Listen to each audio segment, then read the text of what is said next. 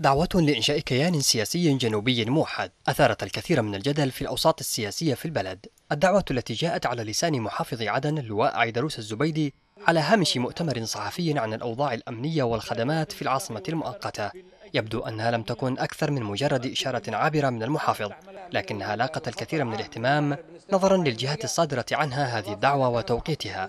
من حق هذا الكيان إذا نشأ أن يكون له صوت طبعا في المفاوضات التي ترعاها الأمم المتحدة أسوة طبعا بكيان الحوثيين الذي يعتبر كيان شيعي 100% نحن نطالب طبعا آه، الرئيس هادي بدعم هذا التوجه نطالب طبعا مجلس مجلس التعاون الخليجي بدعم هذا التوجه.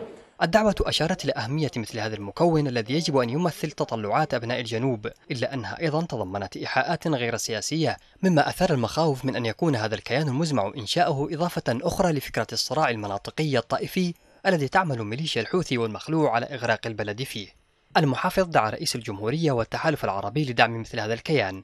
بما يعبر عن تطلعات الجنوبيين ويمثلهم في الحكومة وفي أي مفاوضات سياسية مستقبلية حسب قوله. لكن البعض يرى أن مثل هذه الدعوة لا تخدم المسار الذي تمضي عليه الشرعية ولا يقع ضمن أولويات التحالف الداعم للشرعية في هذه المرحلة وأنه ربما يكون عبئا على مشروعها ورؤيتها ودعما إضافيا لمشروع الميليشيا وادعاءاتها باعتباره تجزيئا لمشروع إسقاط الانقلاب وتشتيتا للقوى الشرعية.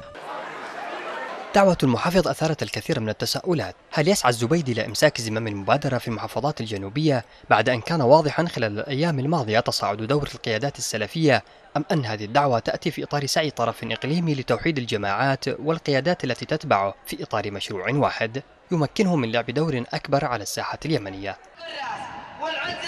فيما من الواضح أن الفعل السياسي في الجنوب سيبقى محصورا في إطار التمثيل. بحيث يسعى كل طرف لإثبات أنه الممثل الوحيد لقضية أضاعتها مثل هذه الجهود التي لم تصل بها إلى أي مكان.